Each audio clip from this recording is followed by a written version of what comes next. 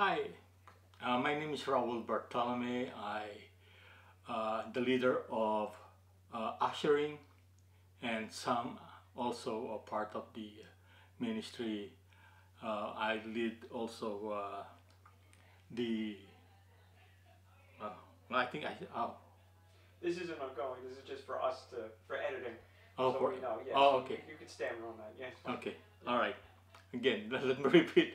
Hi, uh, I'm Raul Bartolome and I lead the um, ushering uh, ministry. So I'm reading uh, um, a chapter, uh, 2 Samuel chapter 11. This is about uh, when David prayed, I have sinned.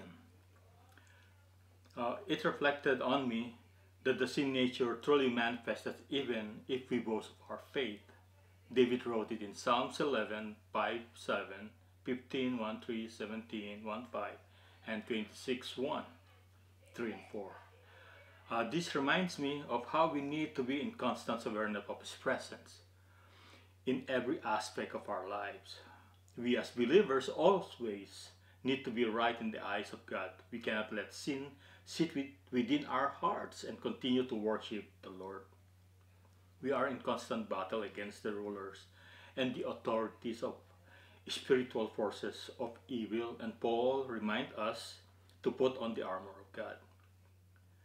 David show us during this time and age how he grieved the Spirit.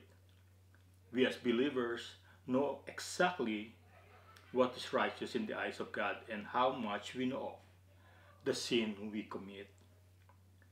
David's anguish due to the fact that what he did is to satisfy his lust. He was blinded by his own selfish and lustful desires. He never came to his sense of righteousness at that time. When we sin, we carry the guilt until we know when to repent and to seek the Lord's forgiveness. We as believers know exactly when we grieve the Holy Spirit. We are anxious and stressed. And when we pursue our own desires, we impose our own reason. We declare our own excuses and we set aside God's holy presence. And the danger is giving the enemy a foothold of your own fleshly desires.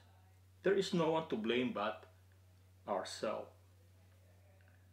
What David did is to cover his sin with another sin by justifying his own actions through his power. We cannot hide our identity as Christians. When we represent God, the enemy will try to expose every sin we commit and what we did not acknowledge and repent yet. We know God is all knowing, and before you ask or say and do, He know it already. So, what is the point of hiding and holding on to your sin? So, God's forgiveness is there for us. He forgive all our sins from yesterday, today, tomorrow, and the days to come. Don't believe the enemy's lies that you are not worthy to be forgiven. Yes, we are prone to sin. That's our nature. But we have to ask for forgiveness. And if we will entertain our fleshly desires and forget who we live for, we cannot nev- we can never win the battle and live a holy life. We are giving the enemy a foothold and it will continue to feed us of what we want to hear and see. If we cover our life of sin just like David, we will suffer and drown. My lesson to be learned is to acknowledge right away and offer the repentant heart and believe that the Lord has forgiven us 70 times 7. The acknowledging part is truly to give praise, thanksgiving, posing on God's holiness and righteousness. So when we ask for forgiveness, we focus on God's holiness.